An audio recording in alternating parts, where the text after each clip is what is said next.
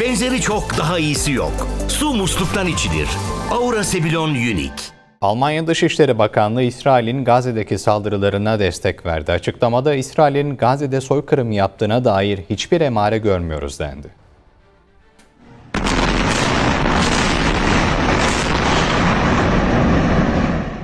İsrail, Gazze ve Lübnan'da sivillere yönelik katliamlarını sürdürürken Almanya'dan skandal bir açıklama geldi. Berlin yönetimi İsrail'in 7 Ekim 2023'ten bu yana sürdürdüğü saldırılarına destek verdi.